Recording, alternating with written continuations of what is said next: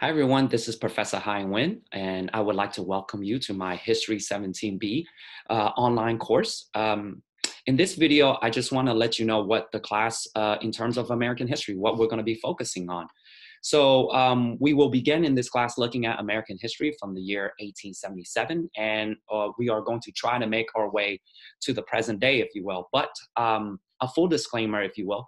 Uh, 1877, we're going to be looking at American history a little bit before that with the Reconstruction period in the 1860s, just ultimately to provide you with some context as to why 1877 is such an important year in American history, if you will, um, simply because um, 1877 Reconstruction uh, comes to an end, um, and some of the promises that were made during uh, uh, promises that were made after uh, the Civil War, if you will, were left unfinished, and it is going to take another 100 years for America to ultimately um, to try to fulfill those promises to uh, African Americans, and some would say it's still um, somewhat unfinished, if you will. But we start in 1877 looking at the reconstruction, uh, the end of the reconstruction period, and then we will ultimately shift gears, looking at uh, Western expansion and looking at its impact on Native Americans. And then we will progress to the industrialization period,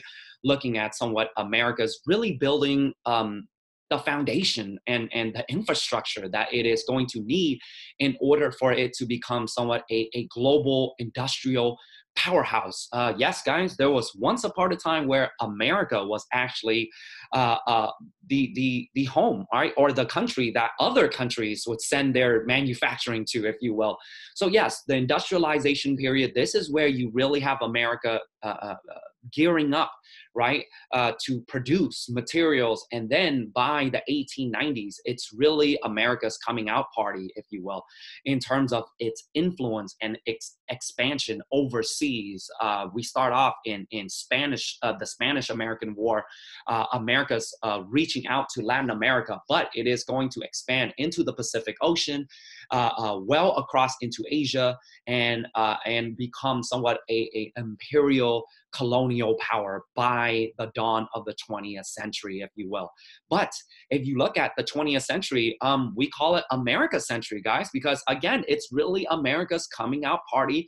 And this is America's rise on the global stage, right? Because if you look at it, World War One, World War Two, America really tried to convey itself and really try to project itself as a force of democracy, right?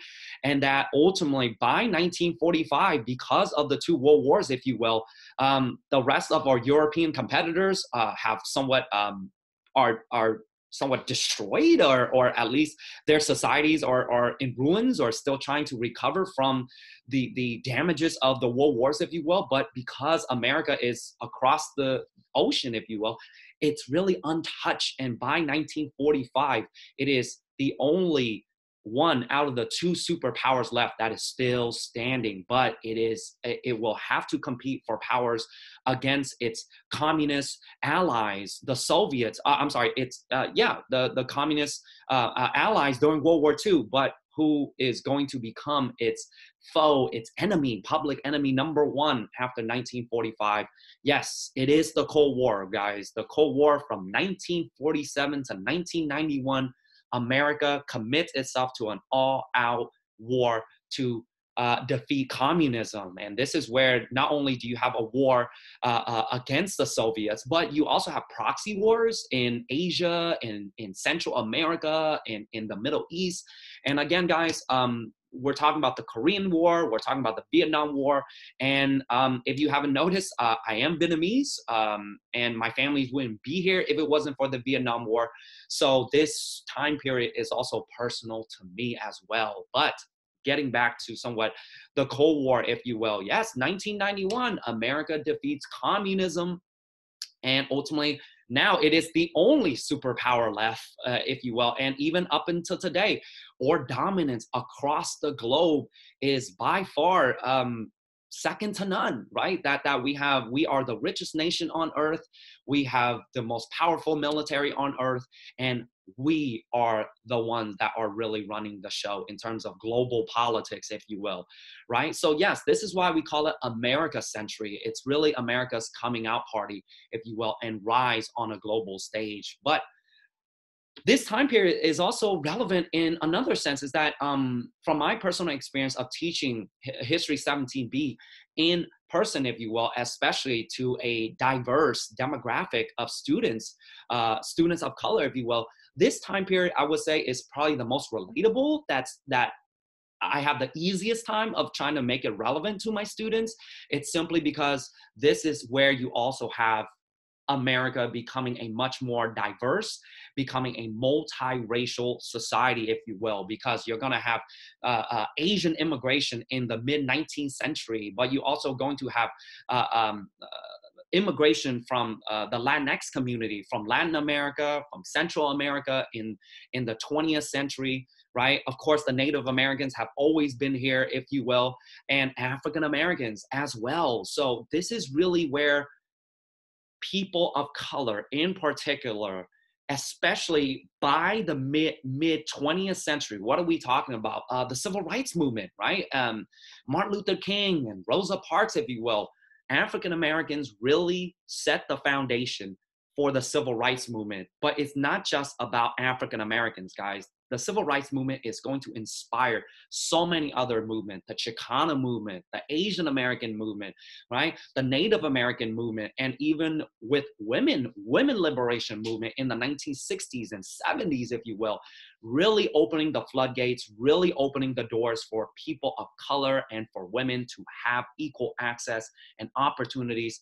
But i, I find those struggles and also their effort to fight for social justice and equality in America really inspiring, right? Um, and also, um, that was my my emphasis. That was my main interest in studying in American history. Um, so, um, in this class, that's what you're gonna see. You're gonna see a heavy influence of. Uh, um, you're gonna see a, a extra emphasis of looking at history from a bottom down perspective looking at it from the experiences of immigrants, people of color, women in American history, especially in the module assignments that you're going to be working on, right? That is not to say that we are not going to cover uh, somewhat uh, white Americans, Europeans, immigrants who are coming over, uh, uh workers in particular, labor unions. So we are going to cover all of that. That is in your textbook, if you will. But what I'm hoping is that throughout the module assignments that you're going to be working, I look at it as a supplement to some of the gaps and some of the things that your textbook may not cover in depth enough, if you will. And that's where my emphasis and my influence is going to come in because uh, when I study American history, um, yes, it was really the civil rights movement and it was the book, Autobiography of Malcolm X, that really inspired me to go into history, if you will. So that's what this class is going to be about. We're going to try to look at American history after the 1870s in all various perspectives and i'm hoping to carry uh, to to teach you somewhat the standard narrative but also we are going to try to somewhat expand somewhat uh, um, the the the narrative of American history, looking at it from all lenses, if you will. And I, I got some things that um, that um, I realized that uh, I didn't learn when when when I was going through grad school and everything like that. So you're gonna see some things that that you never knew that you didn't know before, right? And I like to think that this is the reason why um, Evergreen Valley College, Ohlone College, and De Anza College and San Jose State they hire me to teach. Uh, uh, history at, uh, at their schools, if you will. I like to think that I, I have a unique perspective on American history.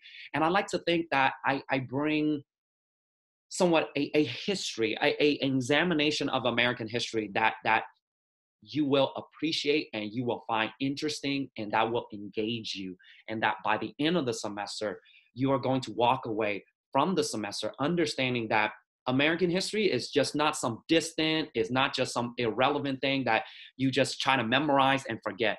What I'm hoping is that by the end of the course, what you understand is that maybe your history, your family history, your community history, right, is the story of American history. right? That was the thing that I learned throughout my years of looking at American history. And I was very fortunate enough to have some wonderful mentor that really inspired me, that really built somewhat the understanding within me that my family story, right? My community, the Vietnamese American community, right, is the story of America. Just think about it, guys, right? America, I mean, unless you're Native Americans, your ancestors, right, came somewhere from overseas.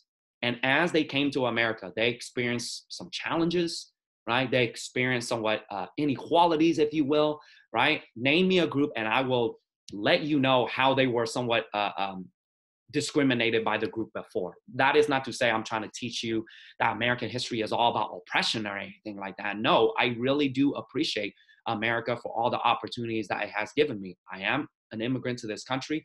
So, if you look at it, right, the story of people from all around the world coming here, right, facing challenges, right, certain inequalities within the system itself, but at the same time, we are here, right? This is the progress. We are here, right? This is the country that we live in, and this is the country that I am proud to be a citizen of, right? So at the end of the day, that is the story of American history, guys. So I hope you stick around, right? I got a lot of things lined up for you throughout this course. And um, with that said, um, check out the class, guys. Go through the somewhat the module pages, if you will. And then we'll see you in the next video for the syllabus where I will explain to you, right, what the class in terms of classwork and your grades, how it will break down. So I will see you in the next orientation video. I hope you stick around. Than that, guys, right, uh, I'm looking forward to you joining my class. Thanks, guys.